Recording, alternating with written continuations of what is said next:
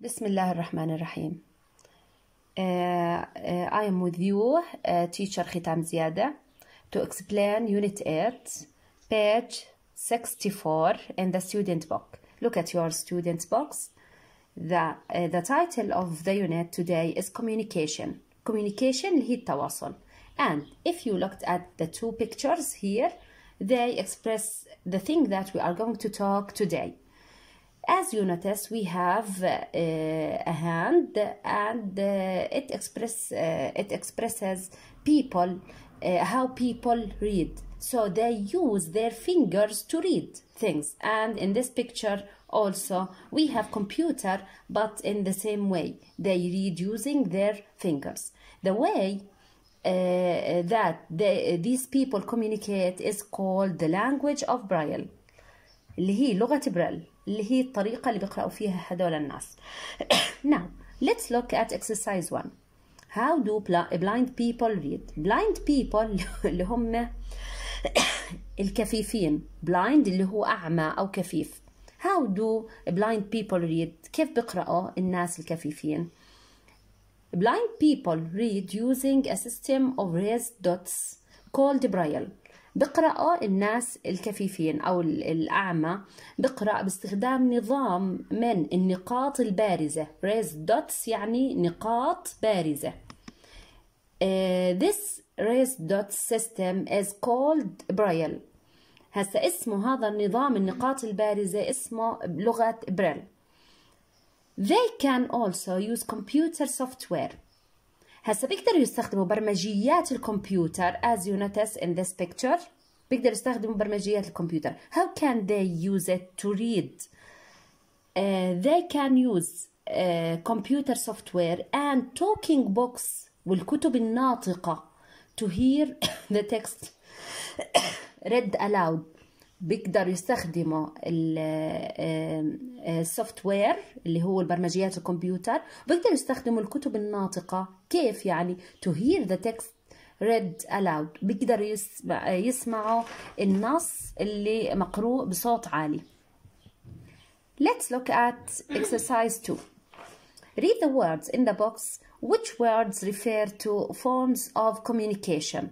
هسا أي كلمات بتشير إلى أشكال التواصل Let's look at these words. Not all of these words are uh, uh, in uh, in the words that you should keep in mind in English meaning. مش كلياتهم بدك تحفظيهم بالإنجليزي اللي راح نشير لهم بعد هيك.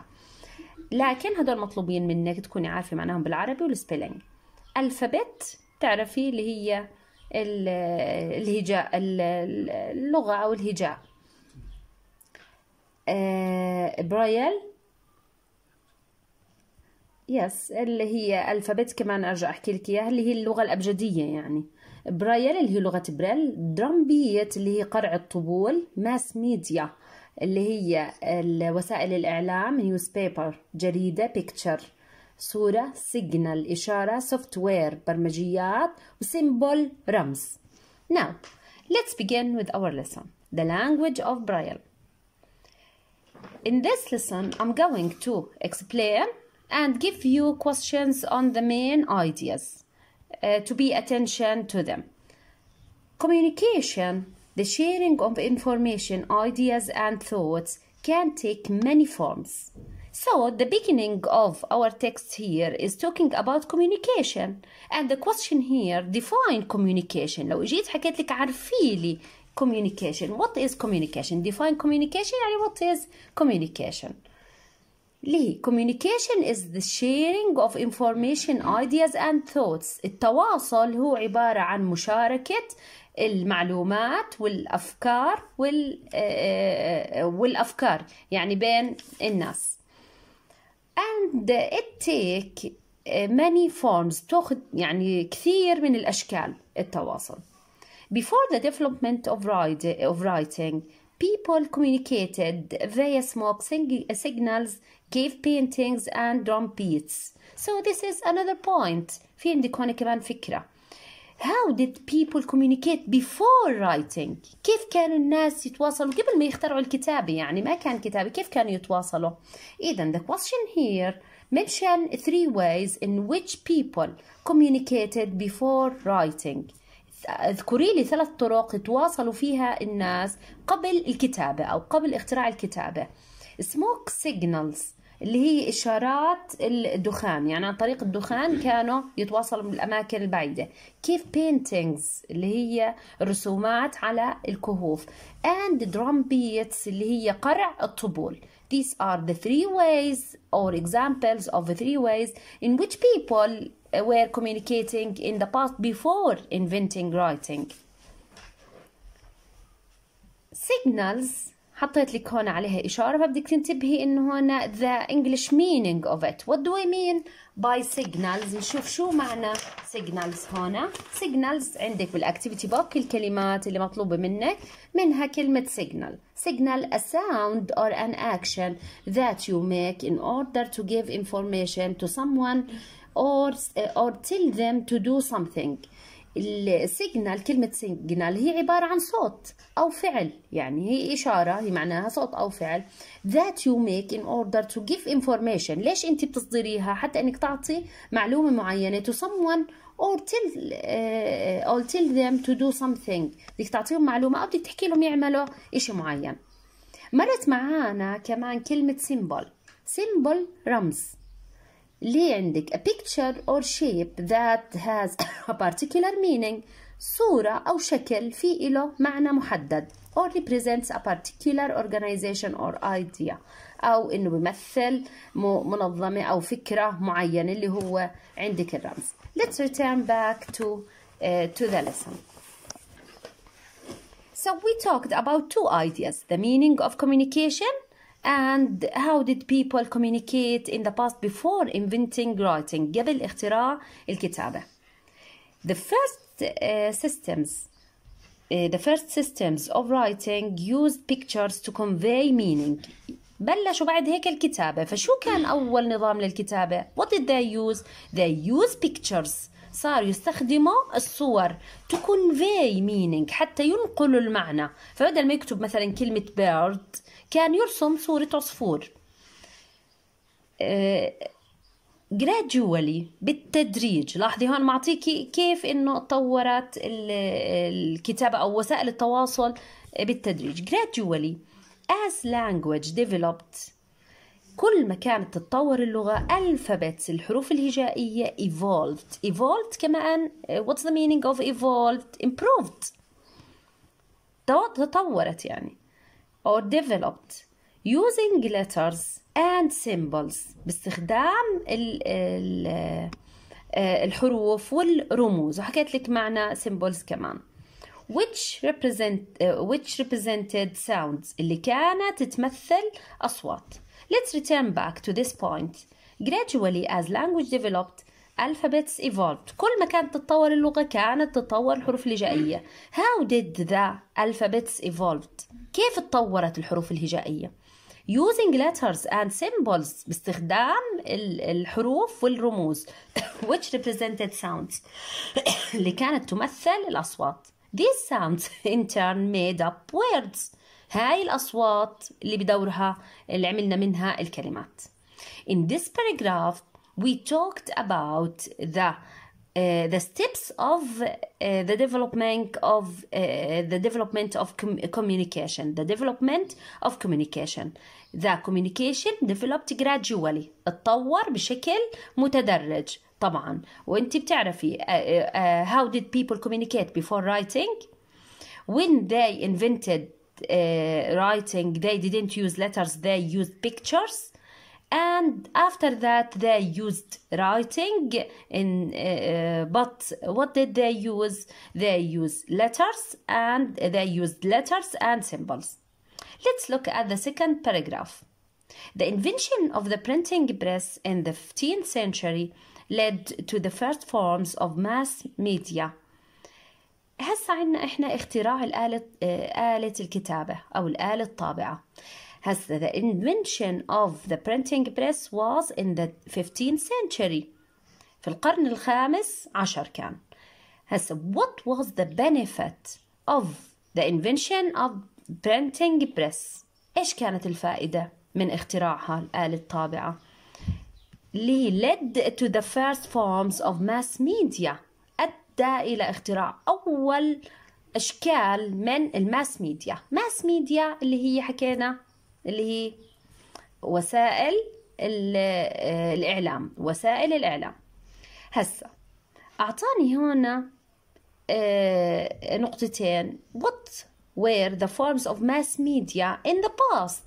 اللي هي newspapers and magazines. فبدنا ننتبه إنه ال mass media حكى لي عنها أعطاني تفصيل عنها اللي هي newspapers and magazines اللي هي الصحف والمجلات. Until then لعند هذاك الوقت it hadn't been possible to reach thousands of readers at the same time ما كان ما كانت توصل وسائل الإعلام لآلاف من الناس في نفس الوقت however طبعا it hadn't been possible ما كان بالإمكان توصل لآلاف من الناس but there was a thing that is called mass media, mass media يعني كان في شغلة اللي هي وسائل الإعلام newspapers and magazines however only sighted people could access these media so this is a problem about mass media كانت عندنا مشكلة or a negative point about mass media في نقطة سلبية بالنسبة لها وسائل الإعلام بحكي لك هون however بتعطيكي عادة opposition however only sighted people فقط فقط الناس المبصرين could access these media فقط المبصرين اللي كانوا يدخلوا على هاي وسائل التواصل أو وسائل الإعلام يعني ما كانوا إلا الناس المبصرين يقرأوا الجرائد والمبصرين هم اللي يقرأوا المجلات لكن the blind people couldn't do that ما كانوا يقدروا يعملوا هاي الشغلة Look at this question on this paragraph. Quote the sentence which indicates the form of communication that was used in the first systems of writing. أول وسائل تواصل طبعا أنا بدي هون تقتبسي الجملة. طبعا من الفقرة اللي قبليها هي هاي. Quote the sentence اقتباس جملة. Which indicates the form of communication اللي هي بتشير لشكل التواصل. That was used in the first systems of writing اللي استخدموه في أول نظام للكتابة. The, the first systems of writing used pictures to convey meaning. بدك تنتبهي لي لشغلة إنه الاقتباس من من الكابيتال لتر أو من النقطة اللي اللي كانت الجملة اللي قبل للنقطة. أنا بعرف إنك عارفة إنها pictures اللي كانوا يستخدموها لكن لازم تكتبي لي كل الجملة. Number four. Write down the two first forms of mass media. اكتبي أول شكلين من وسائل الإعلام اللي هم newspapers and magazine and magazines. Number five. What was the disadvantage? Disadvantage سلبية أو سيئة لشيء معين. Negative point أو النقطة السلبية يعني سواء حكينا disadvantage أو negative point of the first forms of mass media.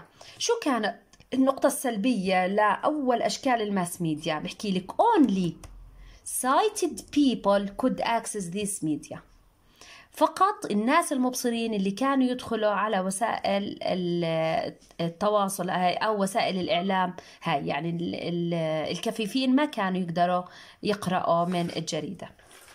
Let's continue.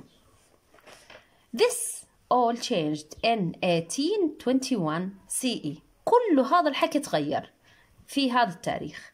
It happened when an officer in the military uh, in the military in France was visiting the Royal Institute of the Blind in Paris.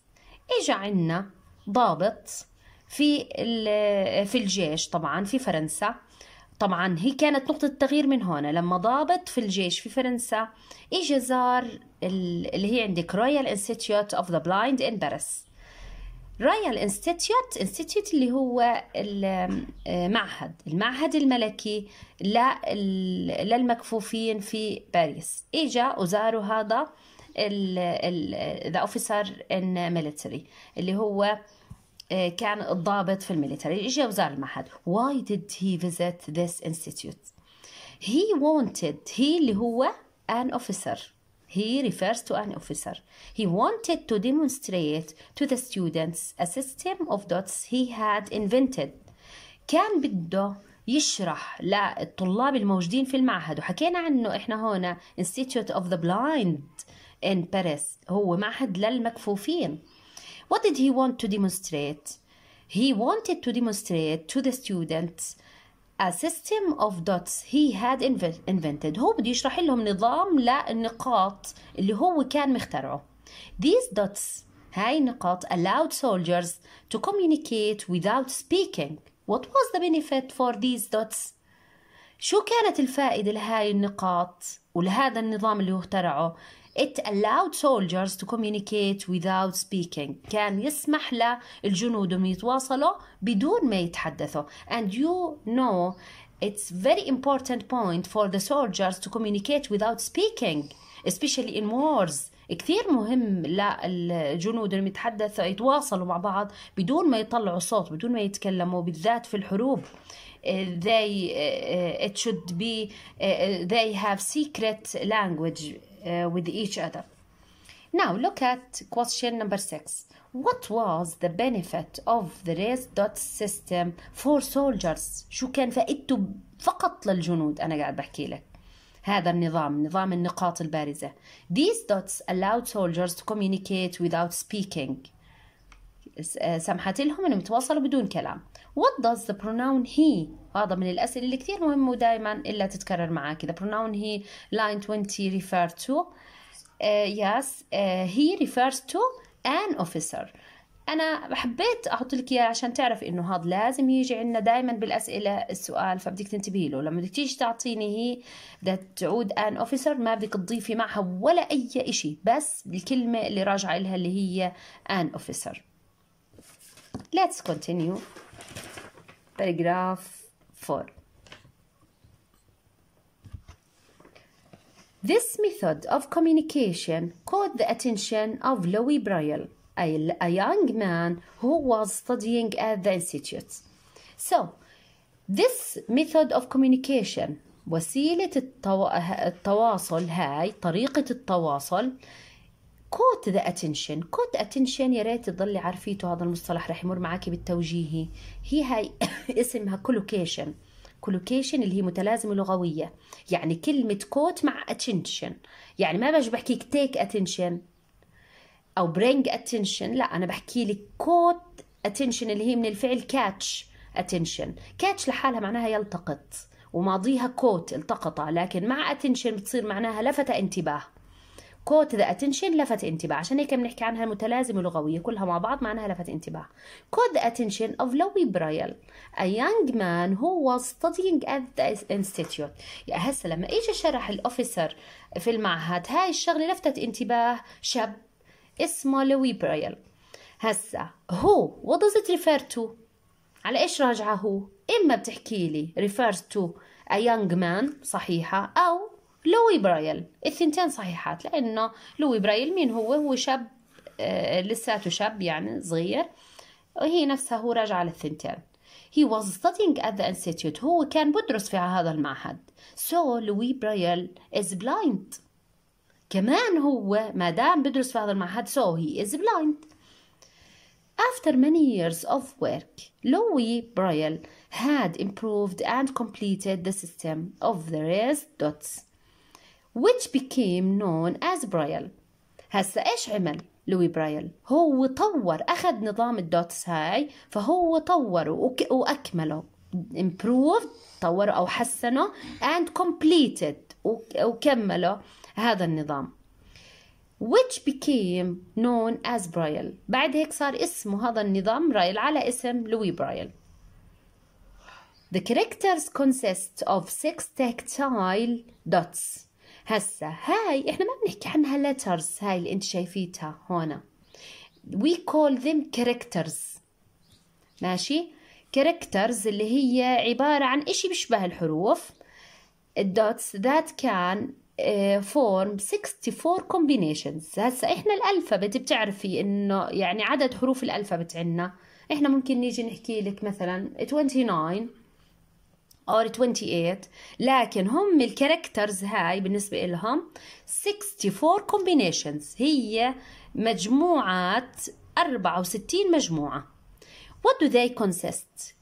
spelling out letters. هسا بالنسبة لهم هي عبارة عن حروف بيقدروا يتهجوها. Numbers وكمان من خلالها الأرقام تبعتهم. And symbols والرموز. فعشان هيك ال 64 combinations consist of spelling out letters numbers and symbols look at this question what do the characters of tactile dots consist of what do they form تتكون من ايش او بتشكل ايش هاي 64 combinations اللي هي عندك 64 مجموعة 64 combinations spelling out letters من ضمنها spelling out letters numbers and symbols now look at the word braille and tactile أنا محدد لك إياهم هذول الكلمات فإذا بدك تكوني عارفة معناهم بالإنجليش تكوني عارفة السبيلينج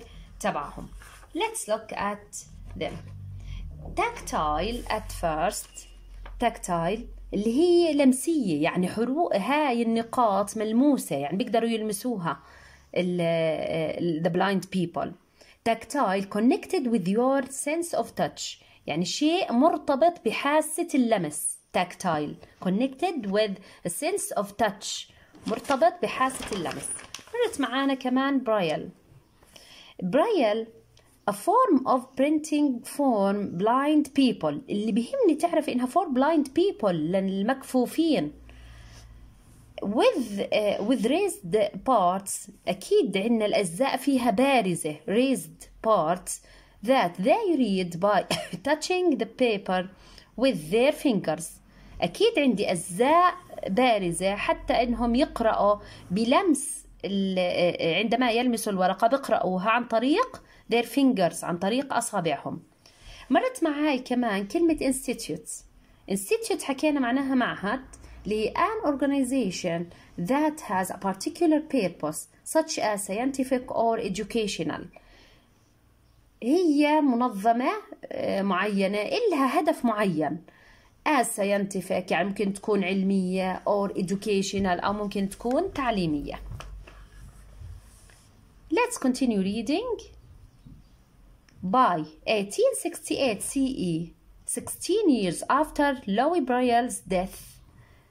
بعد طلعي بعد قديش بعد 16 سنة من وفاته blind people all over the world were using Braille يعني هو اخترعها لكن متى طبقوها؟ بعد يعني صار يعني العالم كله انتشرت فيه بعد 16 سنة من وفاته. إذا حكينا blind people all over the world were using braille every day كل يوم صاروا يستخدموها طبعا uh, blind people all over the world في كل أنحاء العالم It has also been adapted to scripts in different languages It هنا refers to braille راجعة على برايل لأنه بحكي عن برايل language It has also been adapted to scripts كانت هي بتتوافق مع المخطوطات أكيد والوثائق يعني اللغة اللي موجودة فيها حتى إحنا لغتنا موجودة إحنا هون زي ما أنتم شايفين letters and words هم بالنسبة لهم لغة برايل يعني نفس الدرس مثلا هذا عندهم إياه بلغة برايل فهي بتتوافق مع ال scripts اللي هي المخطوطات أو الوثائق in different languages باللغات متنوعة يعني in English, in Arabic, in French language and so on. It حكينا كمان refers to Braille. It enables enable يمكن It enables blind people to read books, maps and labels and even to press buttons in a lift. So these are the benefits of Braille for blind people. It's a very important point here. كثير مهم عندي هاي النقطة لأنه أنا عندي هنا فوائد استخدام لغة برايل للصم. It, uh, it enables blind people to خلينا نشوف بتمكن المكفوفين من إيش. To read books قراءة الكتب. To read maps قراءة الخرائط. To read labels حتى أي label أو موجود قدامهم بيقدروا يقرأوه. number four and even to press buttons in a حتى إنهم بيضغطوا على يعني تكون موجودة إذا لاحظتي بنقاط بارزة حتى على المصعد. فهم بيقدروا يضغطوا على المصعد. باستخدام لغة بريل A wide range of national daily newspapers are available in Braille too. حتى عندك مجموعة واسعة من الجرائد متوفرة available اللي هي متوفرة بلغة بريل. Look at this question. Braille language enabled blind people to do many things. Mention for uh, mention for benefits for Braille to the blind people. اذكري لي أربع فوائد. أنا كتبت لك إياهم هون بالتفصيل، أنت ممكن تخرج الجملة كرج اللي هي it enables blind people to read books enables blind people to read maps, to read labels, and to press buttons in a lift. The last paragraph. Nowadays, في الوقت الحالي, screen reading software اللي هي برمجية قراءة الشاشة means that the text on a computer screen can be heard aloud. So, uh, blind people nowadays use technology. This paragraph is important مهم بدنا نشوف how did how does technology help blind people كيف التكنولوجيا بتساعد المكفوفين the first thing أول شغلة screen reading software اللي هي برمجية قراءة الشاشة What is the benefit for this? طلع شو بحكي لك. Means that the text on a computer screen can be heard aloud. شو بيستفيدوا منه؟ النص اللي على شاشة الكمبيوتر بيقدر يقرأ لهم إياها. هاي البرمجية بتقدر تقدر تقرأ لهم إياها بصوت عالي فبيقدر يسمعها المكفوف. نمبر 2 digital talking box اللي هي الكتب الناطقة الكتب الرقمية الناطقة. هاي عندي الشيء الثاني. The second point is digital talking box. Digital talking box اللي هي الكتب الرقمية الناطقة that simultaneously generate outbook in braille are also available. هاي الكتب تلقائيا موجودة عندنا وبتعطيكي نسخة تلقائية بلغة برايل. So these are the two points that indicate that technology helps blind people uh, to communicate with others. Let's look at this paragraph again. We have two words. Let's look at them. Uh, let's look at their meaning and also we said the spelling of these words. Simultaneously, simultaneously happening at exactly the same time. شيء يحدث في نفس الوقت. Uh, another word software مرت معانا اللي هي كلمة برمجيات the programs used to direct the operation of a computer اللي هي أكيد البرمجيات تستخدمها حتى إنها توجه عمل الكمبيوتر now let's look at a question in, uh, about this paragraph In which ways does technology help blind people communicate? We, we said we have two ways اللي هي text uh, uh, uh, uh, uh, text on screen reading software and digital talking box. 11 find a word اللي هو سؤال لازم نكون عارفينه إنه بيجي أكيد على قطع الريدنج find a word اوجدي كلمة in the text في النص which means بدنا نشوف شو اللي معناها. طبعا بناء على الكلمات اللي حكينا بدك تحفظي معانيهم. Connected with your sense of touch شيء مرتبط بحاسة اللمس اللي هي كلمة tactile. وبدك تنتبهي إنه لما تيجي تحكي لي find a word إنه بس الكلمة اللي أنا بدي إياها ما زيدش إشي من النص. Now Let's look at the vocabulary uh, exercise in uh, the activity book.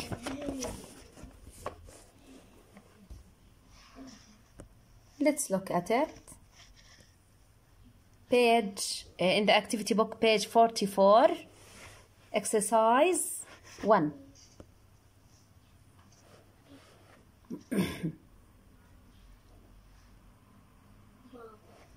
exercise 1 complete the following paragraph with words related to written communication. طبعا هاي الكلمات متعلقة بوسائل التواصل المكتوبة. وبدين لك لاحظي first letters الحروف الأولانية وأنت بدك تكملي يعني منهم راح تعرف الكلمة اللي بدك إياها.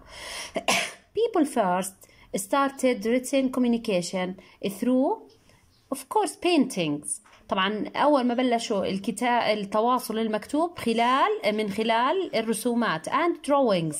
On cave walls والرسومات طبعا على جدران الكهوف when the alphabet was invented عندما اخترعوا الحروف الهجائية طبعا it became a lot easier for people to communicate أكيد الحروف الهجائية خلت التواصل أسهل This writing system was made up of letters and symbols نظام الكتابة هذا كان من إيش معمول حكينا من letters الحروف symbols رموز which represented sounds هي اللي كانت أكيد تمثل الأصوات then when mass media prevailed عندما ظهرت وسائل الإعلام it introduced the whole world to newspapers and magazines عرفت العالم بأكمله بالجرائد والمجلات however the blind could not benefit from these forms of communication حكينا مين اللي ما استفاد منها هاي وسائل الاتصالات اللي هم blind اللي هم المكفوفين and that's when the language of Braille was invented عشان هيك اخترعوا لغة إبرل now the comprehension uh, question اللي هو exercise 4 طبعا الاسئله اللي أنا طرحت لك اياهم خلال النص وفي عنا اسئله critical thinking راح اصور لك اجابتهم ان شاء الله وابعث لك اياها كمان على الجروب thank you very much we can discuss the comprehension questions read and listen to the uh, to the text again answer the following questions number one what do the underlined uh, words refer to الكلمات اللي تحتها خط طبعا بالنص لإيش راجعة؟ إحنا كنا ذاكرينهم حكينا هي refers to the officer he refers to the officer. وحكينا هنا كمان هو refers to a young man. ولو حكيت لوي برايل كمان صحيحة. و it كمان it هنا وهون كمان refers to برايل number two. How did mass media contribute to the invention of Braille? كيف قدرت وسائل الإعلام تساهم في اختراع برايل؟ mass media contributed to the invention of Braille by provoking provoking يعني تحريض أو يستحث يعني عمل شيء معين by provoking the invention of a written raised dot, uh, dot system in order to enable the blind to read newspapers and magazines يعني هي عن طريق انها حرضت أو انه استحثت اختراع raised written raised dot system اللي هو نظام النقاط البارزة المكتوبة طبعا هي موجودة بارزة in order to enable the blind حتى هي تمكن المكفوفين to read newspapers and magazines حتى أنهم يقرأوا الصحف والمجلات. فكانت ضرورة بالنسبة للمكفوفين حتى أنهم يقرأوا الصحف والمجلات لكن in braille language. Number three why do you think? طبعا لما يكون عندك think هون فإذا critical thinking الإجابة من عندك مش راح تلاقيها بالنص. Why do you think soldiers had to communicate without speaking هسا انت باعتقادك ليش جنود لازم انهم يتواصلوا بدون بدون الكلام I think they need to communicate without speaking because they have confidential information or a secret they want their information to be secret or to keep their information secret حتى إنها تضلها سرية المعلومة or confidential اللي هي معلومة سرية. Number four. What makes Braille an official system? Official system اللي هو نظام رسمي of communication. هسا شو الإشي أو يعني هاي جملة بتصلح إنها تكون quote the sentence. شو الإشي اللي بيخلي لغة بريل إنه نيجي نحكي عنها إنها official رسمية لغة تواصل رسمية. كانوا ذاكرين لي بالنص it is used all over the world لإنها تستخدم في كل أنحاء العالم فإذا هي مالها ممكن نعتبرها official Number five, how does technology nowadays help blind people communicate كيف التكنولوجيا ساعدت المكفوفين انهم يتواصلوا حكينا in two ways text on a screen can be heard aloud. النص على الشاشات ممكن إنهم يسمعوه بصوت عالي. And talking books that also have the words in braille are also available. هسه كمان عندنا talking books الكتب الناطقة مالها حكانا. حكانا are also available. إنها متوفرة الكتب الناطقة. فهدول الشغلتين نوع من انواع أنواع التكنولوجيا بتساعد إنهم يتواصلوا المكفوفين. مع العالم الخارجي number six do you think braille لاحظي كمان هون think do you think braille is a practical way for the blind to communicate justify your answer it is a, an excellent question طبعا ممتاز هذا السؤال لأنه قاعد بحكي لك do you think is a practical way practical way طريقة عملية يعني لغة بريل هاي هل كانت طريقة عملية for the blind to communicate حتى أنهم يتواصلوا المكفوفين justify your answer uh, look at this suggested answer طبعا هاي إجابة مقترحة but it is excellent I think Braille is practical for blind people طبعا بحكيك do you think بدك تحكي إما yes I think أو yes I do يعني بدك تجاوبي على السؤال do you think بعدين justify your answer بتعطيني الإجابة because كذا إذا I think Braille is practical for blind people because it uses a sense that they have لأنها بتستخدم هاي لغة برايل لانجوج بتستخدم الحاسة اللي موجودة أصلا عندهم it could be very slow though as reading with your fingers might take longer حتى لو انه انها بتاخذ يعني بطيئة بالنسبة لنا إحنا يعني ممكن نيجي نحكي قراءه بالأصابع لكن بالنسبة لهم يعني لغة شيء عملي لإنها بتستخدم الحاسه اللي معها اللي عندهم. What is the sense that they have? The sense of touch اللي حاسة اللمس. إذا لو إجيتي حكيتي yes I think so because they, it uses a sense of touch that they have.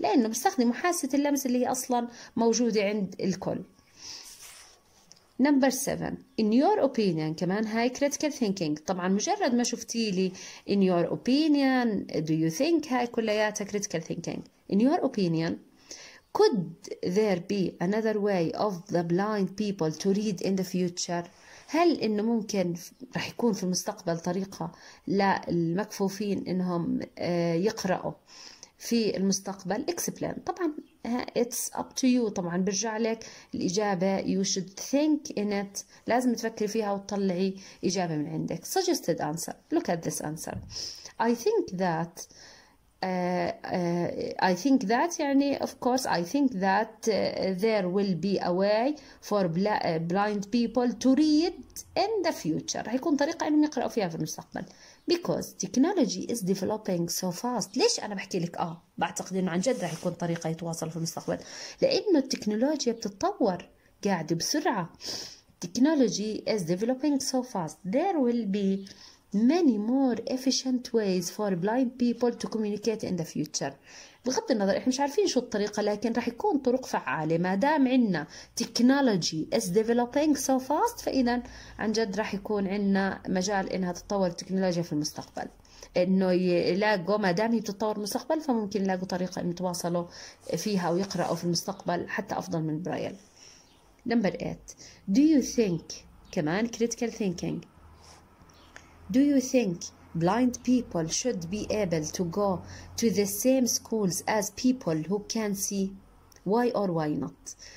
Another excellent question عن جد سؤال رائع بحكيك do you think blind people should be able to go to the same schools as people who can see بتعتقدي انت انه المكفوفين لازم يروحوا على مدارس زيهم زي الناس اللي بيشوفوا if you say yes why and if you say no why not suggested answer in my opinion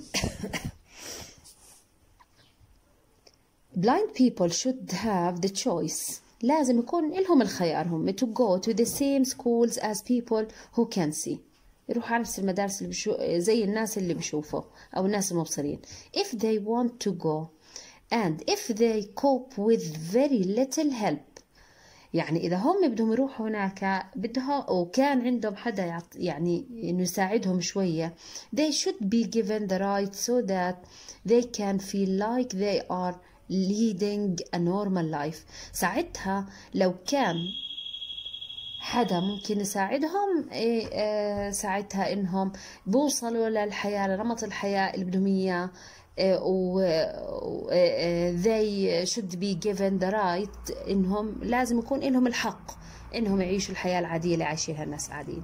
That's it. Thank you.